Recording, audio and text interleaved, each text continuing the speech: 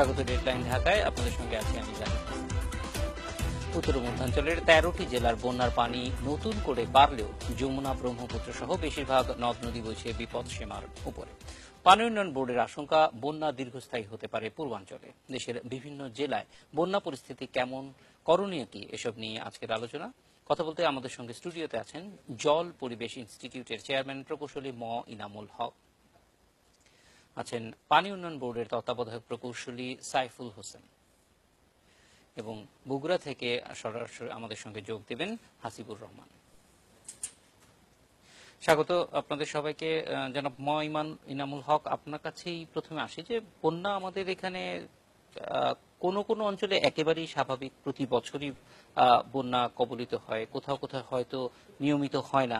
তাদের ক্ষেত্রে আমরা আরও বেশি দেখি যে দুর্যোগটা বেশি হয় প্রস্তুতি না থাকার কারণে। তো বন্যার ক্ষেত্রে সাধারণ প্রস্তুতিগুলি কেমন এবং সেগুলি একটা টিক মার্কের মতো যেহেতু এটা প্রতি বছরের ঘটনা ফলে সেটা আমরা সেভাবে অনুসরণ করতে পারছি দেখুন সরকারি পর্যায়ে বন্যার ব্যাপারে যে প্রস্তুতিটা সেটা আহ, দু রকমের অর্থাৎ বন্যা প্রতিরোধের জন্য যারা বাঁধ নির্মাণ করেন পানি উন্নয়ন বোর্ড তাদের একটা প্রস্তুতি থাকে যে কীভাবে বাঁধটাকে রক্ষা করা যাবে, কোথায় কোথায় দুর্বল জায়গা আছে, যেখানে একটা বাঁধটা ভেঙে গিয়ে গ্রামাঞ্চলে ফসল ডুবি করতে পারে, বাড়ি ডুবে যেতে পারে। সে সকল জায়গায় একটা পাহারা দেওয়া, লক্ষ্য রাখা। আরেকটা হলো সরকারের ত্রাণ বা দুর্যোগ যে অধিদপ্তর আছে সেখান থেকে এবং স্বাস্থ্য অন্যান্য কিছু কিছু জেলা প্রশাসনের তরফ থেকেও একটা, এক ধরনের একটা প্রস্তুতি থাকে যে তাৎক্ষণিকভাবে যদি বন্যা হয়ে যায়, তাহলে মানুষকে কীভাবে একটা ত্রাণ সাহায্য দেওয়া যেতে পারে? বা যদি বন্যাজনিত কারণে কোনো মহামারী বা রোগ বালাই সৃষ্টি হয়, সেখানে কীভাবে দেওয়া যাবে এই ধরনের একটা দুই ধরনের প্রস্তুতি আছে। আমি যেটা দেখি সেটা বাংলাদেশে এই দুই পক্ষ থেকেই যথেষ্ট পরিমাণ ইয়ে আছে। যথেষ্ট পরিমাণ তাদের তৎপরতা আছে এবং প্রস্তুতি আছে। আমাদের সমস্যাটা কোনায়, কোথায়? সমস্যা হলো যে বাংলাদেশের একশত ভাগ এলাকায় কিন্তু আমরা বন্যা প্রতিরোধ করতে পারব না। কারণ এর নদী আছে এবং নদীর তীরবর্তী এলাকা আছে। যে বাঁধগুলো থাকে, সেটা নদীর যে প্রবাহ পথ আছে, তার থেকে বেশ কয়েক কিলোমিটার দূরে দূর দিয়ে যায় বড় বাঁধটা যেটা, মূল বাঁধটা। এর ফলে নদীগুলো তেরো চোদ্দ কিলোমিটার, যেমন যমুনা নদী, তেরো চোদ্দ কিলোমিটার চওড়া। তারপরে হ্যাঁ হয়তো উত্তর পূর্বাঞ্চলের সুরমা বা কুশিয়ারা এগুলো এক কিলোমিটার বেশি নয়, কিন্তু পদ্মা নদী, পদ্মা নদীও এরকম বারো তেরো তেরো কিলোমিটার চওড়া। তো এর ভেতরে, দুই বাঁধের ভেতরে যে এলাকাটা আছে, সেটা কিন্তু বন্যার পানি আসলে সেটা ডুববে ঘর বাড়িগুলো ডুববে, চরগুলো ডুবে যাবে এবং সেখানে যে কেউ ছবি তুলতে গেলে দেখবে যে হ্যাঁ সেখানে একটা বন্যা চলছে। কিন্তু সেটা বন্যা নয়। এটাই হলো কথাটা। যে আমাদের কিছু এলাকায় ঘরবাড়ি ডুবে গেল, সেই ঘরবাড়িগুলো, ওগুলো এভাবেই নির্মাণ করা আছে। যেমন টিনের চাল দেওয়া আমরা বাড়ি কতগুলো দেখি ডুবে যাচ্ছে। ওগুলো ওইরকমই নির্মাণ করা যেতে পারে। ওই স্থানে এমনভাবে নির্মাণ করা হচ্ছে যে যেখানে বৃষ্টি আসলে পারে, বন্যা আসলে ওগুলো ডুবে যাবে। তো ওগুলো হলো বন্যার সাথে বসবাস কিছু এলাকা আছে, যেমন হাওড় অঞ্চল।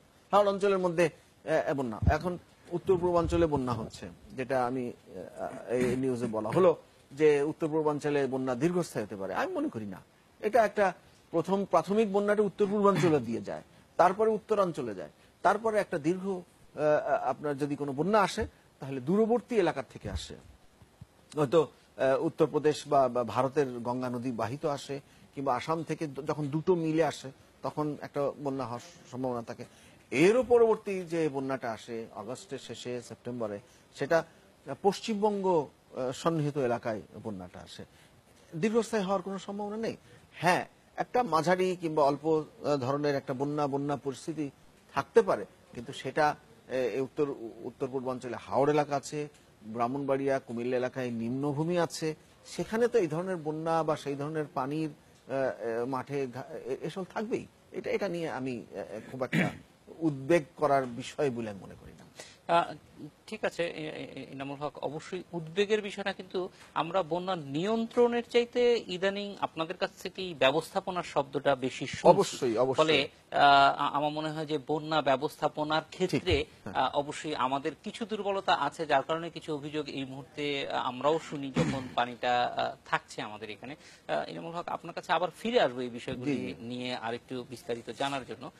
তো সাইফুল হোসেন আপনার কাছ থেকে যে বিষয়টি জানতে চাই সেটি হচ্ছে যে এই যে বন্যা বন্যা ব্যাপারটা আমরা যত মনে হয় অনেক সময় মনে করি যে একমাত্র যে সিলেট অঞ্চলের ঢল দিয়ে যে বন্যাটা আসে সেটা অনেক সময় আকস্মিক। আর বাকি সবগুলোই কোনো না কোনো ভাবে কিছুটা মানে আমরা বলতে পারি যে অন্তত দুই তিন দিন চার দিন আগ পর্যন্ত আমরা কিছুটা আন্দাজ করতে পারি। কিন্তু সেই আন্দাজ করার প্রক্রিয়াটা আসলে কারা ঠিক করে- এবং সেটি আমরা গণমাধ্যম এবং অন্যান্য যে এজেন্সিস গুলি আছে সেগুলিতে ঠিক মতো যায় কিনা? কারণ আমরা অন্য দুর্যোগের ক্ষেত্রে দেখি ধরেন যেটা যেটা জলোচ্ছ্বাস বা যেটা আরেকটু আগের থেকে জানা যায় সেই ক্ষেত্রে কিন্তু আমাদের প্রস্তুতি এবং রেসপন্স দুটোই অনেক বেশি আহ, পেশাদারিত্বের সঙ্গে করা হয় বলে আমাদের মনে হয়। আমি জানি না যে আসলে? ধন্যবাদ আপনাকে। চমৎকার প্রশ্নের জন্য কিন্তু আমি একটুখানি ব্যথিত হচ্ছি, লজ্জিত হচ্ছে এই কারণে। আপনারা বহুদিন ধরে টেলিভিশনে বন্যা নিউজ কভার করছেন, আমিও একাধিকবার আপনাদের এখানে এসেছি। এই- বিষয়টা কিন্তু বাংলাদেশ পানি উন্নয়ন বোর্ড করে এবং পানি উন্নয়ন বোর্ডের একটা প্রতিষ্ঠান আছে, বন্যা পূর্বাভাস সতর্কীকরণ কেন্দ্র। এটা খুব দায়িত্ব নিয়ে, দায়িত্বশীলতার সাথে খুব চমৎকারভাবে বন্যার পূর্বাভাস করছে। আমরা যেটাকে বলি সুনির্দিষ্ট পূর্বাভাস, আমরা চব্বিশ, আটচল্লিশ, বাহাত্তর ঘণ্টার করি। এবং আপনি শুনলে খুশি হবেন চব্বিশ ঘণ্টার ফোরকাস্ট আমাদের অলমোস্ট প্রায় নাইনটি এইট পার্সেন্ট একুরেট আটচল্লিশ ঘণ্টা ninety five percent seven eight hours around eighty five percent accurate এবং আমরা পাঁচ দিনের একটা, পাঁচ দিন থেকে আট দিনের একটা প্রবাবিলিটি ফোরকাস্ট করি। তো তার আগে আমি একটুখানি বিনয়ের সাথে আপনার সাথে একটা আপনার উদ্বোধনী মানে প্রারম্ভিক স্টেটমেন্টের সাথে আমি একটু দ্বিমত পোষণ করি। ভূমিকাতে আপনি বলেছিলেন যে পানি উন্নয়ন বোর্ড সূত্রে জানা গেছে তাদের পূর্বাভাস দেশের পূর্বাঞ্চলে বন্যা স্থায়ী হতে পারে। বিষয়টা মোটেই ঠিক নয়। আমি জানি না এটা কোন সোর্স থেকে আপনারা পেয়েছেন। পূর্বাঞ্চল বলতে আমি কিন্তু বুঝাই। Comilla, Moulvibazar, Feni something like that এত সাউথ ইস্টার্ন হিল বেসিন বলে আমার অন্য জিনিস চলে আসে। তো এখানে আসলে এখন কোনো বন্যা পরিস্থিতি বিরাজ করছে না, প্রাথমিক বিষয়। আর পূর্বাঞ্চলে আর হওয়ারও কোনো বিষয় নেই। আরেকটা বিষয় হলো, সারা পৃথিবীব্যাপী পূর্বাভাস কিন্তু খুবই একটা সেন্সিটিভ ম্যাটার বিষয়টা হলো কি, একটা মানুষ বিপদের মধ্যে আছে। এখন সরকারি প্রতিষ্ঠানের উচিত হলো তাকে আগাম একটা সতর্কবাণী দিয়ে এই বিপদ কখন শেষ হবে অথবা বিপদ কতটুকু বাড়বে সহযোগিতা করা।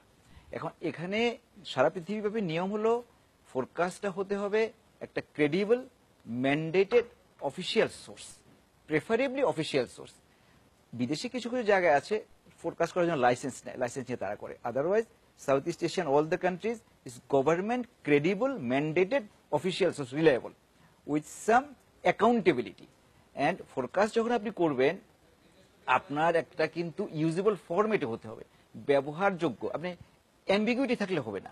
আপনি এলোমেলো করে মানে আমরা যেটাকে মানে আমরা বলি যেটাকে hiding facts behind technical language এগুলি হলে হবে না। যেমন ধরেন, আমাদের সোসাইটিতে যেটা হয়, অনেকেই শখের বসে বলেন অথবা বলার জন্য বলেন ফোরকাস্টের মতো করে কথা বলেন।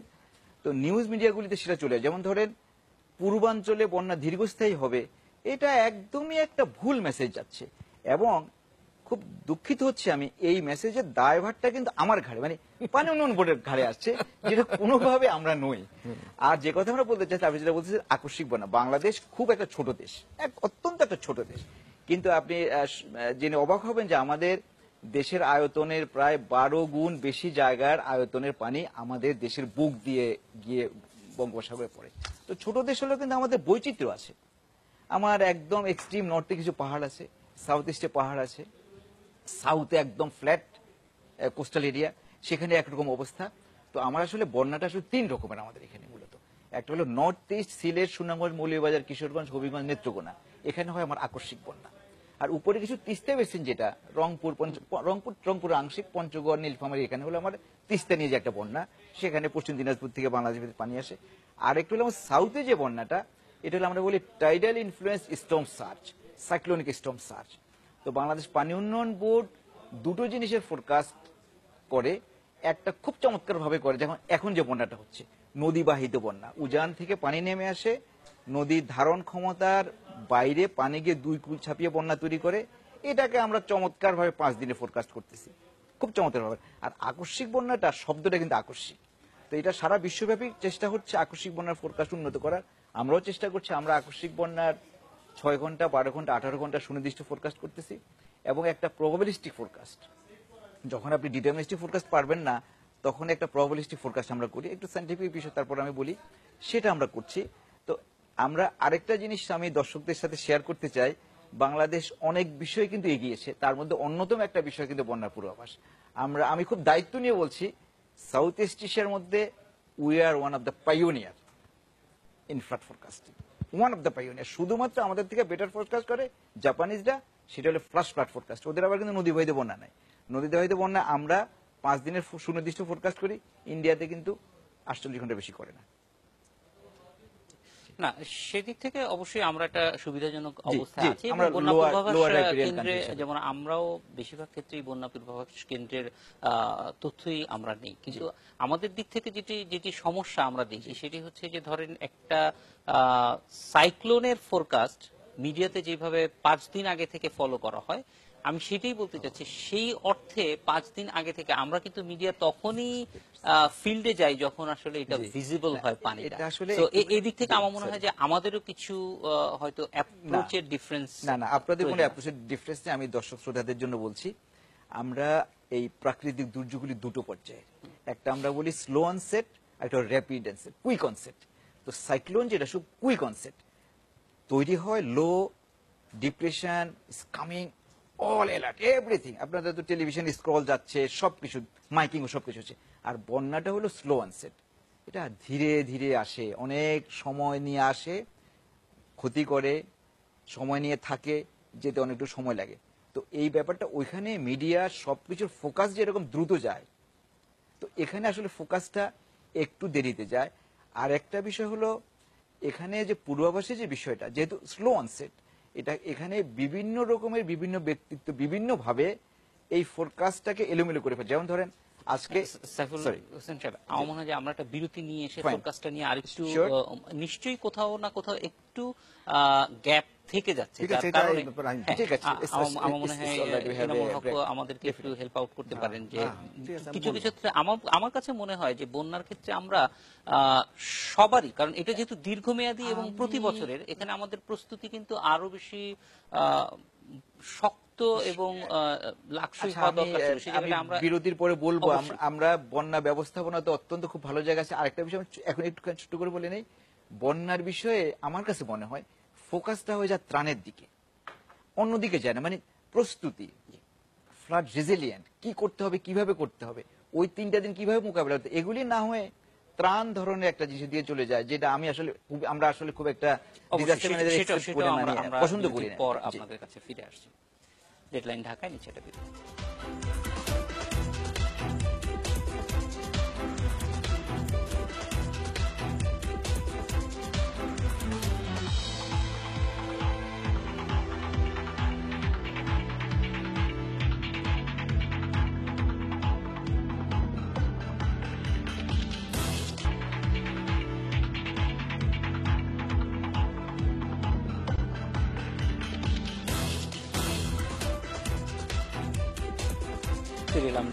ঢাকায় উত্তরাঞ্চলের বন্যা পরিস্থিতির খবর জানাতে বগুড়া থেকে আমাদের সঙ্গে যোগ দিচ্ছেন সহকর্মী হাসিবুর রহমান।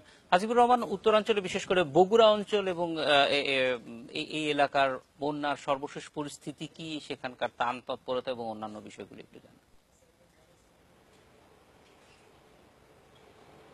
হ্যাঁ, জাহিদ ভাই গত তিন চার দিন আগে পানি উন্নয়ন বোর্ড যে ধরনের ধারণা দিয়েছিল পূর্বাভাস কেন্দ্রের যে তথ্যগুলো আমাদেরকে দিয়েছিল তার সাথে বেশ মিল রয়েছে সাদৃশ্য রয়েছে এবং বলা যায় যে একেবারেই পুরোপুরি মিলে গেছেন। তারা আমাদেরকে তিন দিন আগে বলেছিল যে তেরো চোদ্দ তারিখ নাগাদ বন্যার যে প্রবাহ বা পানির যে প্রবাহ এটা একটা স্থিতি অবস্থায় চলে আসবে এবং আজকে কিন্তু সেটাই আছে। গতকালকে সকাল ছয়টায় যে রেকর্ড ছিল বগুড়ার কথা আমি বলছি যে আটান্ন সেন্টিমিটার উপর দিয়ে প্রবাহিত হচ্ছিল এই বিপদ আহ, বিপদসীমার আটান্ন সেন্টিমিটার উপর দিয়ে যমুনা প্রবাহিত হচ্ছিল।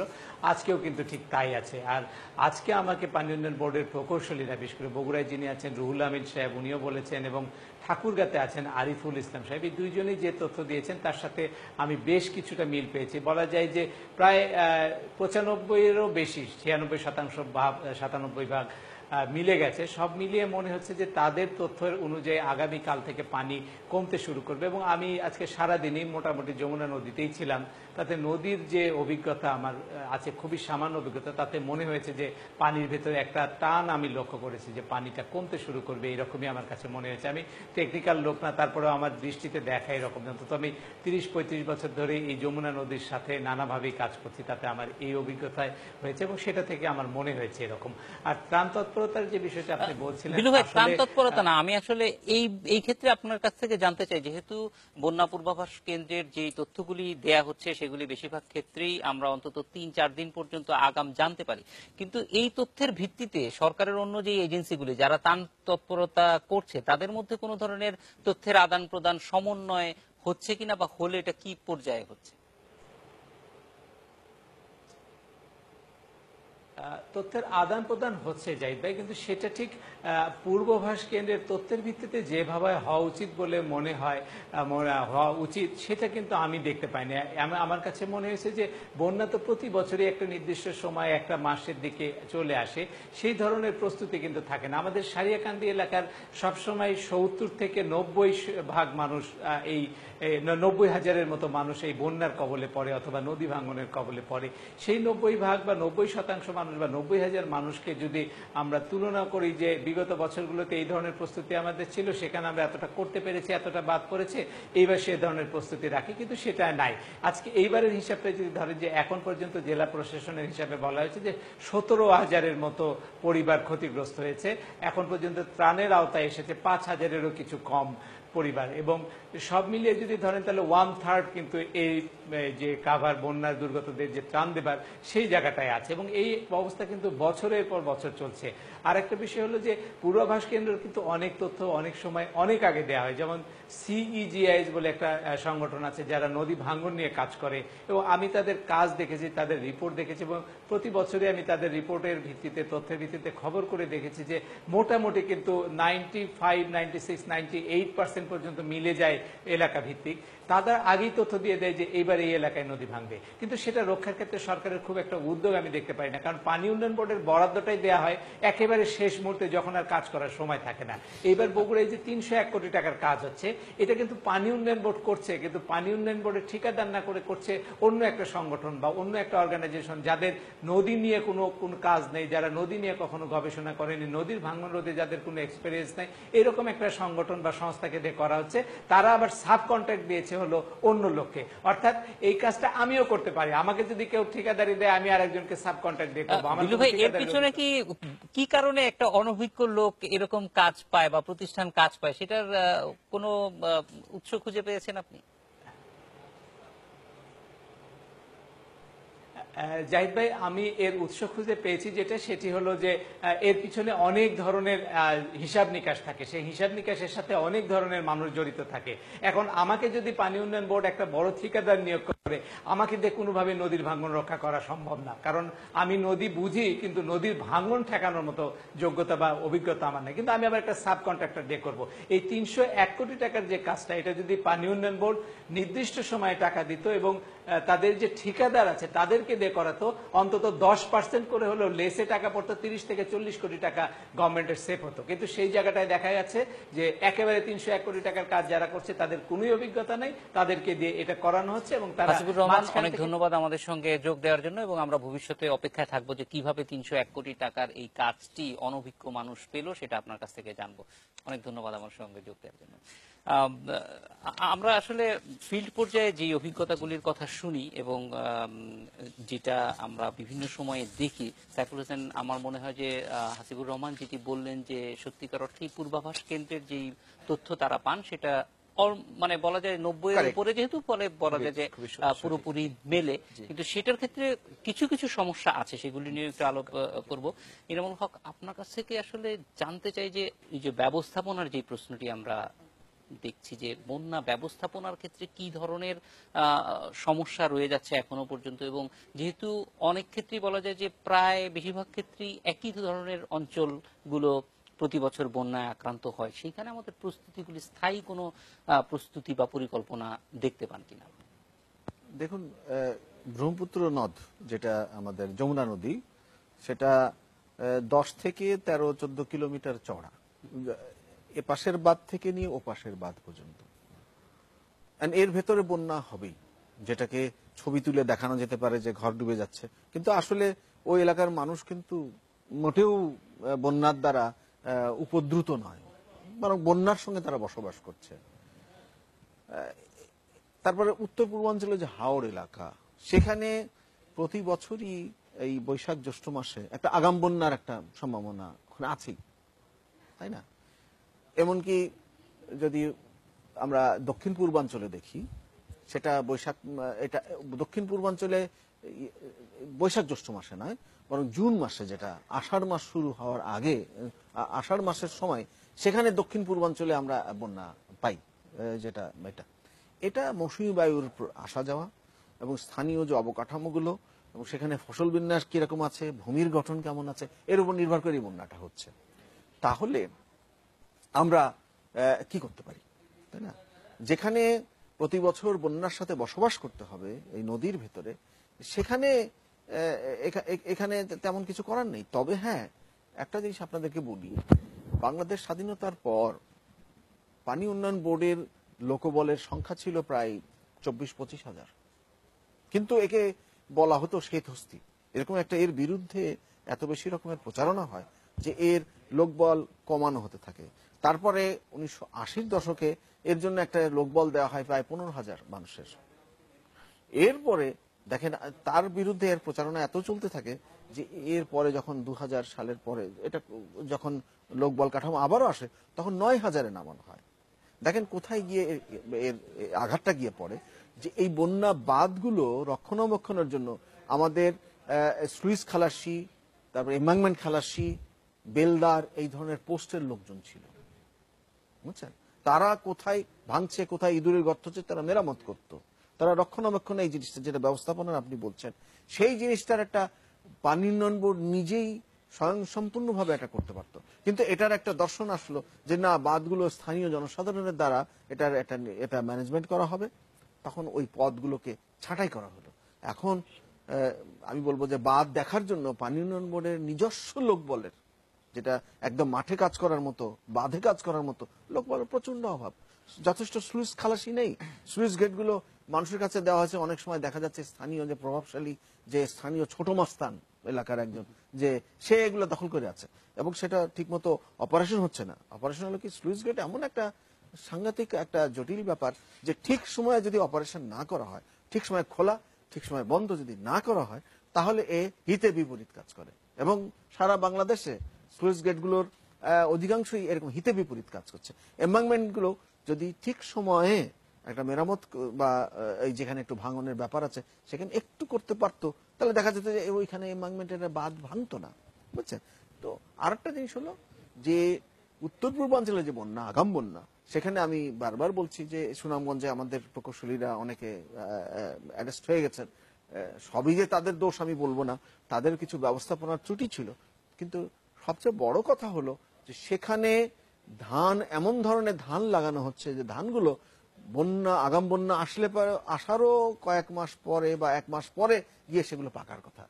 আগাম বন্যা। তাহলে আগাম বন্যার ঝুঁকিতেই সেসব ধানগুলো কেন লাগানো হলো? লম্বা জীবনকালের কেন ধান লাগানো হবে? যে ধানগুলো যদি আগাম ভাবে লাগানো যায় তাহলে দেখা যাচ্ছে যে ফলে এই ক্ষেত্রে অবশ্যই কৃষি সম্প্রসারণ হ্যাঁ, সমন্বিত দরকার। যেটা আমরা দেখেছি যে উত্তরাঞ্চলে বিশেষ করে রংপুর গঙ্গাচড়া এইসব এলাকায় কিন্তু খুব অল্প সময়ে ধান লাগিয়ে সুফল পাওয়া যাচ্ছে। সাইফুল হোসেন আমরা আপনার কাছে আসব যে এই ব্যবস্থাপনার বিষয়ে এবং বিশেষ করে বন্যা প্রবণ অঞ্চল ত্রাণের বিষয়টি নিয়েও আমাদের কিছু প্রশ্ন অনেক সময় শোনা যায়। আহ, এবং বেশিরভাগ ক্ষেত্রে যেটা হয় যে মানে পানি উন্নয়ন বোর্ড যে পূর্বাভাসগুলি দিচ্ছে সেইগুলির ব্যবহারের ক্ষেত্রে আমাদের কাছে মনে হয় যে সেই ব্যবহারের ক্ষেত্রে সরকারি অন্যান্য যে সংস্থাগুলি আছে সেটা যথাযথ ব্যবহার হচ্ছে না। ফলে শেষ পর্যন্ত দায়টা আপনাদের উপরই এসে পড়ছে। ফলে আপনারা জানতে চাই যে এই ক্ষেত্রে আপনারা কি ধরনের মানে হুইসেল ব্লোয়িং এর ক্ষেত্রে এবং অন্যান্য ক্ষেত্রে কি ধরনের কাজ করার সুযোগ আছে? এটা বিরতির পর আছে। ডেডলাইন ঢাকায় নিচ্ছে একটা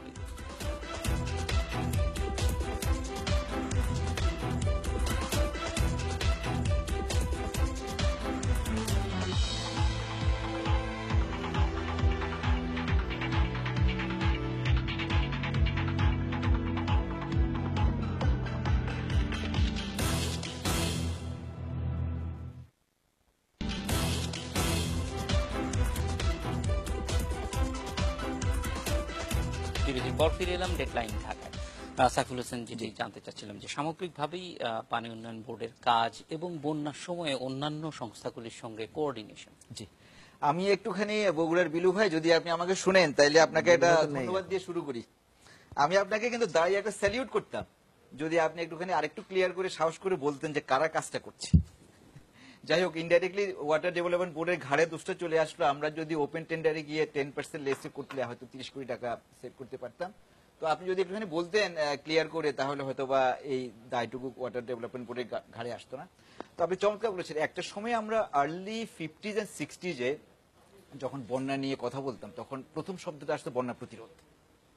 তো সিক্সটিজ এর পরে কিন্তু আমরা বন্যা প্রতিরোধ শব্দটাকে কিন্তু আমাদের ফ্লাড ম্যানেজমেন্ট দিয়ে রিপ্লেস করে ওটাকে কিন্তু আমরা এই অভিধান থেকে বাদ দিয়ে দিছি এখন আমরা বন্যা প্রতিরোধের কথা বলি না। আমরা বলি বন্যা ব্যবস্থাপনা। আর আরেকটু যদি নিচে নেমে আসি, তাহলে আমরা বলি বন্যার ঝুঁকি হ্রাস। তো বন্যার ঝুঁকি হ্রাস নিয়ে বিভিন্ন স্টেক মানে আমরা যারা উপরে মানে আছি সরকারি বিভিন্ন রকম অর্গান তারা বিভিন্ন জন বিভিন্ন জায়গায় কাজ করে। যেমন ধরেন ত্রাণ ও পুনর্বাসন মন্ত্রণালয়, তারা মেইনলি মিটিগেশন সাইডে কাজ করে। মিটিগেশন সাইড রেকর্ড রাখা, কতজন মারা গেল রিলিফ রিহেবিলিটেশন নিয়ে। আর বড় প্লেয়ার হলো এখানে বাংলাদেশ পানি উন্নয়ন বোর্ড বাংলাদেশ পানি উন্নয়ন বোর্ডের কাজটা হলো তিনটা জিনিস নিয়ে। একটা হলো up to some certain extent prevention up to some certain extent একটা জায়গা পর্যন্ত কারণ আমি যদি প্রকৃতিকে প্রকৃতির মতোই থাকতে দেই তাহলে কিন্তু ষোলো কোটি মানুষের পেটে ভাত জুটবে না। কারণ আমরা একসময় সাত করেছিলাম আহ, আমার মনে আছে তখনও অর্ধেক মানুষ রাত একবেলা খেয়ে থাকতো। আমরা এখন ষোলো কোটি। ষোলো কোটি মানুষ খাচ্ছি পড়ছি আমরা খাদ্য স্বয়ংসম্পূর্ণ খাদ্য রপ্তানিও করছি আমরা মাঝে মাঝে। তো এটা সম্ভব হয়েছে কিন্তু এই মেকানিজমের কারণে। আমরা একটা সার্টেন লেভেল পর্যন্ত চেষ্টা করি এটাকে প্রিভেনশনের then is coming to awareness যেটা বাংলাদেশ পানি উন্নয়ন বোর্ডে বন্যা পূর্ব সচেতন কেন্দ্র। অ্যাওয়ারনেস কি জন্য? প্রিকশন প্রিকশন কি জন্য? To minimise loss and damages and sufferings মানে বন্যা আসবে, বন্যার ক্ষয়ক্ষতি, দুঃখ, দুর্দশা লাঘব করার জন্য সে যেন পূর্ব প্রস্তুতি নিতে পারে, এই জন্য আমরা এটা দিয়ে থাকি। তারপরে আরেকটা জিনিস আছে যেটা, সেটা হলো খুবই গুরুত্বপূর্ণ। যে বন্যা যখন হয়, তখন কেন জানি ফোকাসটুকু ত্রাণের দিকে একদমই চলে যায়। কিন্তু আমরা আসলে চাচ্ছি যদি আমি একটা রূপ করতে বলি, মনে করি একটা লোক হোঁচট খেয়ে পড়ে গেল হাঁটতে হাঁটতে। আমরা চাই যে হোঁচট খেয়ে যাওয়ার পর আমি দেখি সে নিজের শক্তিতে উঠে দাঁড়াক। অথবা আমি অবজার্ভ করব, তাকে একটুখানি হাত ধরে উঠে দাঁড়াই কিন্তু রিলিফ জিনিসের এমন, সে পড়ে গেছে, তাকে কোলে নিয়ে নাও। কোলে নেওয়া কিন্তু কোনো সলিউশন না। কোনোভাবে না। যেমন ধরেন সারা বিশ্বব্যাপী এবং বাংলাদেশ সরকারের ভীষণ ত্রাণ কেন্দ্রিক ত্রাণ নির্ভর দুর্যোগ ব্যবস্থাপনা থেকে দুর্যোগ সহনশীল ব্যবস্থাপনা দিয়ে চলে যাওয়া। তার মানে আমি এই বলছি না যে ত্রাণ আমি এখনই বন- বন্ধ করে দেবো, কিন্তু সব ফোকাস কিন্তু ত্রাণের দিকে চলে গেলে ত্রাণ ত্রাণ নেওয়াটা, ত্রাণের জন্য দাঁড়িয়ে থাকা, ত্রাণ পাই নাই, এটা বলাটাই কিন্তু কেমন যেন নেশার মতো হয়ে গেছে। আমার, আমি আমার ব্যক্তিগত অভিজ্ঞতা শেয়ার করি আপনার সাথে। দুই হাজার সাত সালে যে সিডর হলো দক্ষিণাঞ্চলে সিডরের পরবর্তী সময় এত বেশি ত্রাণের বিষয়ে সবকিছু চলে গেল, দশ পনেরো দিন পরে পানি নেমে গেল, আবার ফসল রোপণ করতে হবে, কোনো লোক নাই। রিবিল্ডিং প্রসেস ঘর বাড়ি তৈরি করতে হবে, কোনো লোক নেই, কোনো লেবার নাই। তারা কোথায়? ওই ত্রাণের লাইন কারণ ত্রাণের লাইন দিলে তিন জায়গায় গিয়ে দাঁড়াবে, বিড়ি ফুকবে, গল্প করবে শত সারাদিনে পাঁচশো টাকা আয় করবে, কিন্তু এখানে হয়তো সারাদিন কাজ করে সে পাবে দেড়শো টাকা। সুতরাং আসলে আমি যেটা আমি যেটা বলতে চাচ্ছি, এবং সরকার যেটা চাচ্ছে সরকারি ভীষণ যেটা যে এই ত্রাণ হাত পাতার সংস্কৃতি থেকে বেরিয়ে এসে আত্মনির্ভরশীলতা। হ্যাঁ তারপরেও ব্যাপারটা লাগবে। সেখানে যেখানে লাগবে সেখানে। এখন ধরেন একটা জায়গায় বন্যা হচ্ছে সে কিন্তু জানে আমার মনে হয় যে এই পুরো বিষয়গুলি আমরা দেখি বেশিরভাগ ক্ষেত্রেই রাজনৈতিক প্রভাবের কারণে হয় ত্রাণের যেই বন্টনটা। আমিও আপনার সঙ্গে একমত। অনেক ক্ষেত্রেই আমি রিপোর্টার হিসেবে যখন বন্যা অঞ্চলগুলি ঘুরতে গিয়েছি তখন দেখেছি যে যেসব এলাকায় প্রতি বছর বন্যা হয় সেখানকার মানুষের কিন্তু প্রস্তুতি আছে এবং তারা আহ, সরাসরি ত্রাণ আসলে না করে দেয় যে তাদের ত্রাণ প্রয়োজন নেই। কারণ তারা বংশ পরম্পরা এটার সঙ্গে অভ্যস্ত। অভ্যস্ত বরং দেখা যায় যে পারের দিকে অনেক মানুষ আছে যারা হয়তো ত্রাণের জন্য অপেক্ষায় থাকে। সেটার ম্যানেজমেন্ট কীরকম হবে এটা আসলে স্থানীয় পর্যায়ে প্রশাসনকে ঠিক করতে হবে। তবে ম্যানেজমেন্টটা এমন দরকার যাতে এই কথাগুলি না আসে। কিন্তু মূল বিষয় যেটি সেটি হচ্ছে যে বন্যা পূর্ববর্তী এবং পরবর্তী ব্যবস্থাপনা। কারণ বন্যা যেমন আমাদের অনেক ক্ষতি করছে আমাদের জীবনযাত্রা ব্যাহত করছে আবার কিছু হ্যাঁ, উপকারও তো করে যাচ্ছে। সেটাও আমাদের আলোচনা আমি সেই বিষয়ে একটু আসতে চাই। মানে মজা করে আমি সবসময় বলি যে বাংলাদেশে আমরা হয়তো বলি ষড় ঋতুর দেশ। আসলে কি বাংলাদেশ ষড় ঋতুর দেশ? বাংলাদেশ তিন ঋতুর দেশ। একটা হলো গ্রীষ্মকাল ফিল করি শীতকাল আর একটা হলো আমি মজা করে বলি বন্যাকাল বর্ষাকাল বলি না। তো আমার যেমন শীতকালের জন্য একটা প্রস্তুতি থাকে, গ্রীষ্মের জন্য প্রস্তুতি থাকে, বন্যাকালের জন্য একটা প্রস্তুতি থাকতে হয়। তো এখানে প্রস্তুতির মূল ব্যাপারটা কিন্তু বাংলাদেশ পানি উন্নয়ন বোর্ড স্ট্রাকচারাল ভাবে কাঠামোগত ভাবে এবং পূর্বাভাস দিয়ে অন্য কাঠামোগত ভাবে দেখে আর কি। এখানে যখন আমরা যেমন একটা কথা বলি না টু ফোর সেভেন গত পনেরো দিন ধরে আমাদের ফিল্ড লেভেলের সকল অফিস টু ফোর সেভেনে চলছে। মানে twenty four hours in a day seven days in week my DG a DG is in now in the field আমি এখানে বসে আছি কিন্তু আমার ডিজির ফিল্ডে আমাকেও একটা এই, এই- বন্যাকালীন সময় একটা কমিটি আহ্বায়ক করে, একটা কমিটি করা আছে ওই রকম সাতটা কমিটি আছে। তো আমরা চেষ্টা করছি, তবে একটা জিনিস সেখানে আমি বিনয়ের সাথে আপনাদেরকে স্মরণ করিয়ে দিতে চাই। আমরা চেষ্টা করছি এমন একটা শক্তির সাথে ফাইট দিতে। চেষ্টা করে জনগণকে, সম্পদকে, ফসলকে, সবকিছু রক্ষা করতে। যেই শক্তি সম্পর্কে পুরোপুরি ধারণা আমাদের নাই। বিষয়টা যদি মজা করি বলে, এটা অনেকটা পাকিস্তানি ক্রিকেট টিমের মতো। এই যে কখন কি করবে, কোনো কিছু বলা যায় যেমন ধরেন এবার স্যার যেটা বললেন যে পূর্বাঞ্চলের উত্তর পূর্বাঞ্চলের আকস্মিক বন্যার কথা, এই স্যারের মানে সূত্র ধরে আমি একটুখানি বলতে চাচ্ছি, আমাদের প্রস্তুতি ছিল। এবং এখানে এমন একটা বন্যা হয়েছে যেটা গত সত্তর বছরের মধ্যে আনপ্রেসিডেন্টেড দুইটি টার্মে একটা হলো টাইমিং ওই উত্তর পূর্বাঞ্চলে কখনোই গত সত্তর বছরের মধ্যে মার্চ মাসের লাস্ট উইক থেকে এপ্রিল মাসের তিন চার তারিখ পর্যন্ত বন্যা হয় নাই। দুই নম্বর হচ্ছে যেই মাত্রায় পানি উঠেছে গোটা সত্তর বছরের মধ্যে উঠে নাই।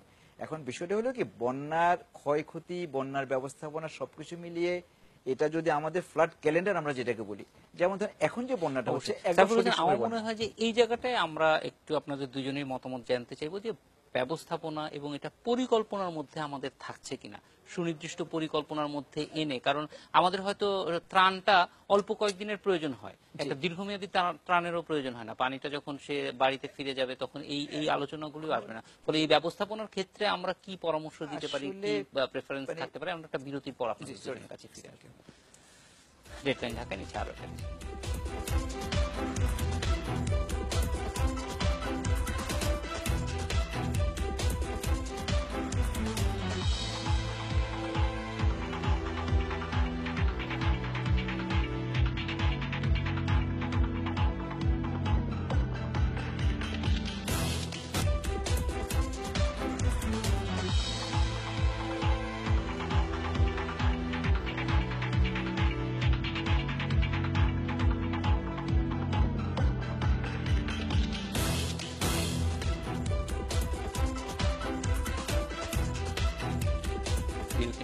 এলাম ডেডলাইন ঢাকায় সাইফুল হোসেন সাহেব একটু জানতে চাই যে ভবিষ্যতে যেই যেই অর্জনগুলি ইতিমধ্যেই এসেছে সেটা সুফল মানুষের কাছে পৌঁছে দেয়া আরও কার্যকর করা সেই জন্য কি ধরনের পরিকল্পনা আছে বা করা উচিত? জি সেই ধরনের পরিকল্পনার একটা অংশ কিন্তু আজকের অনুষ্ঠান। সেই ধরনের পরিকল্পনার অনেক বড় প্লেয়ার কিন্তু আপনারা। সেই ধরনের পরিকল্পনার অনেক বড় প্লেয়ার কিন্তু মিডিয়া তা আমরা সবসময় আপনাদেরকে কাছে পাচ্ছি এবং আমরা চাই যে কথাটা বিলু ভাই বললেন যে একটা এরকম একটা চমৎকার কাজ আমি যার জন্য করছি, সে যদি উপকার না পায়, তাহলে তো লাভ হলো না। আর প্লাস যার জন্য করছি, তাদের ট্যাক্সের টাকা কিন্তু আমার বেতন হচ্ছে। এই ওয়াটার বোর্ড কিন্তু মানুষের ট্যাক্সের পয়সা চলছে। এবং আমরা একটা সুন্দর কাজ করছি, যেটা আমার ফিল্ড থেকে বলল যে হান্ড্রেড পার্সেন্ট একুরেট সেটা যেন ওনারা উপকারটুকু পায়। এটার জন্য আমাদেরকে সকলে মিলে কাজ করতে হবে। আমরা ওয়াটার ডেভেলপমেন্ট বোর্ড থেকে আমরা চেষ্টা করছি, আপনারা করছেন।